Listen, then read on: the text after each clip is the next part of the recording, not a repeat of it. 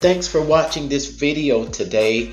Today I'm going to demo something that is available to you inside of the ClickFunnels software that you may not have known about.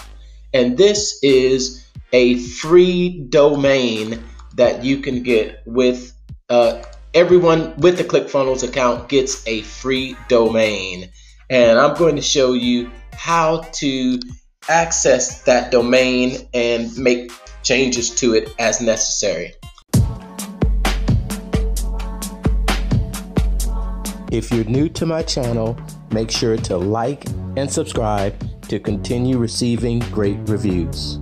As you can see in this page right here, this is my free domain, this first part of the URL right here, and that is the mentalmarketer.clickfunnels.com the free domains that you receive from ClickFunnels are name.clickfunnels.com and it comes standard free with every account on ClickFunnels. And let me just give you an example of how you change that free domain.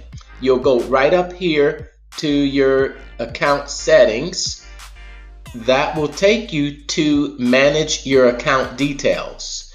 And it's pretty simple. You'll scroll down half a page until you see the ClickFunnels subdomain and it says edit your ClickFunnels subdomain.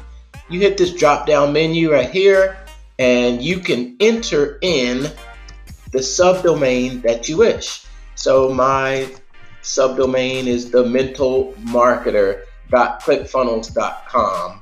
You simply input your subdomain, hit save, and you are safe to drive traffic to that domain. If you found this video helpful, I'd appreciate a like, a comment, or a subscribe. Thanks so much for watching. Have a great day.